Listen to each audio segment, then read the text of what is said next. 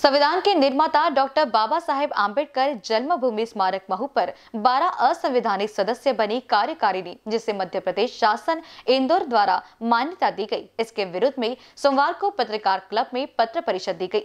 Doctor Baba Saheb Ambedkar memorial society की मुख्यतः 2019 तक 22 सदस्यों की सोसाइटी थी, परंतु उपरोक्त 12 सदस्य शासन की मदद से सम्मिलित होने से कुल संख्या चौतीस हो गई है। इसी का आधार लेते हुए प्रशासक महो इन्होंने सोसाइटी का इलेक्शन कराकर गैर कानूनी प्रणाली अपनाकर इलेक्शन किया और कोई भी विधिवत प्रक्रिया न करते हुए सोसाइटी का कामकाज नई कार्यकारिणी को स्मारक समिति के कार्यालय के ताले तोड़कर स्मारक समिति को उन्होंने अपने कब्जे में लिया। ऐसी जानकारी इस पत्र परिषद में दी गई मैं तुलसी पगारे, नागपुर में रहता हूँ, सुगत बुक डिपो, बौद्ध साहित्य का विक्रेता हूँ।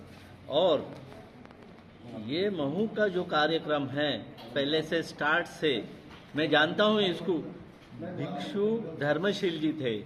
भिक्षु धर्मशील जी ने ऐसा प्रण किया था कि मैं बाबा साहब की जन्मभूमि खोज के निकालूँगा, तब तक पता नहीं था कि ये जन्मभूमि कहाँ पर है। महू में है तो कैसे है?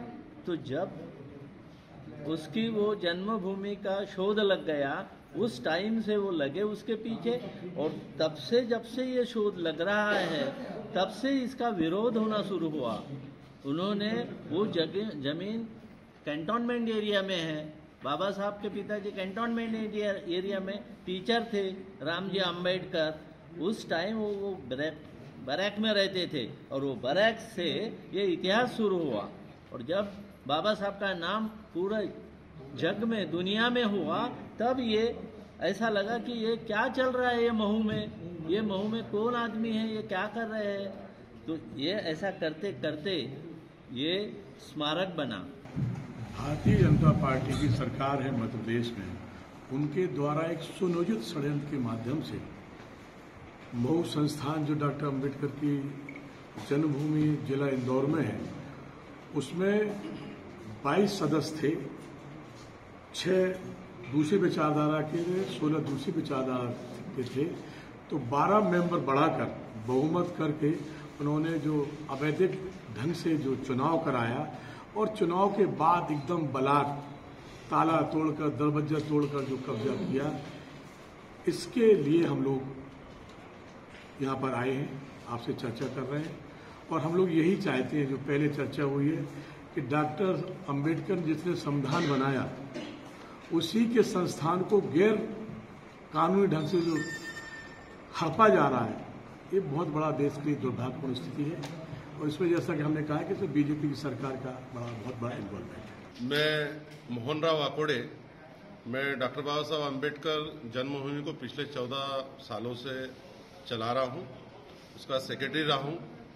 और मैंने अपना पूरा जीवन डॉक्टर बाबा साहब अंबेडकर जन्मभूमि स्मारक के लिए समर्पित कर रखा है। वहाँ पर पिछले हम कई वर्षों से बाबा साहब की पवित्र जन्मभूमि के लिए पर्याप्त जगह मिले, वहाँ अनुयायियों की कैसे व्यवस्था हो, बाबा साहब के विचारों के अनुरूप जो वहाँ पे श्रद्धालु जाते हैं, उनको सारी सुख सुविधा मिले, इसके लिए हम लोग सारे प्रयास कर रहे थे।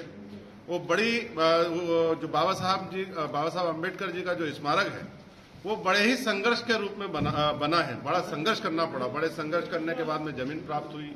बड़े संघर्ष के बाद में वहाँ पे मध्य प्रदेश शासन ने स्मारक बनाया। वहाँ पर प्रधानमंत्री आ गए, राष्ट्रपति आ गए। देश के सारे शीर्ष नेता वहाँ पर आ चुके हैं। कैमरा पर्सन राजकुमार मोहर के साथ दिशा हटवार की रिपोर्ट।